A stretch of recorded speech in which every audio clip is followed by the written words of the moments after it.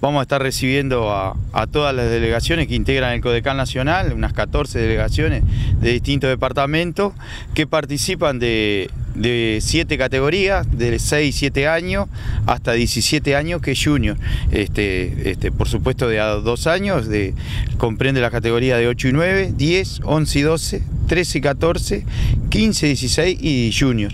A partir de 8.30 eh, comienza con junior, continúa 13 y 14 y después las más pequeñas a partir de las 11 horas y terminando alrededor de las 15 horas con 13 y 14 años Contame un poco cómo es la actividad, porque eh, no es siempre en Colonia, ¿no? Van recorriendo distintas sedes. Esta es la primera que recibe Colonia o ya ha tenido otras en el año, ¿no?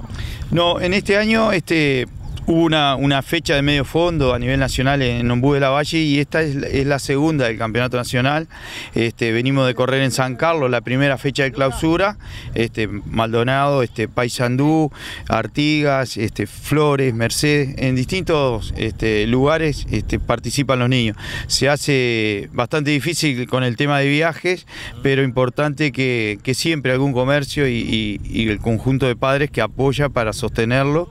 Y bueno, que es el segundo año, este, se, estuvo 30 años sin Codecán, se volvió el año pasado, se hizo en la, en la Rambla y este año optamos por donde se desarrolla la escuelita, donde ellos entrenan y bueno, esperamos a toda la familia que le gusta las dos ruedas. Bueno, en este momento tenemos, compitiendo tenemos a siete niños este, a nivel nacional y bueno, estamos de lunes, miércoles y viernes en la escuelita, como dijo Milton, y, bueno, la idea es que, este domingo el pueblo Colonia aproveche y se dé una vueltita y venga a ver cómo es la actividad del ciclismo, cómo es que, entrenamos a los niños acá, cómo los preparamos. Engancha, ¿no? Porque por ahí algún botija eh, o niña, niño que, ve la actividad, que se entusiasma también, porque tal vez no todo el mundo conoce, ¿no? Sabe que se está desarrollando aquí en el cartón.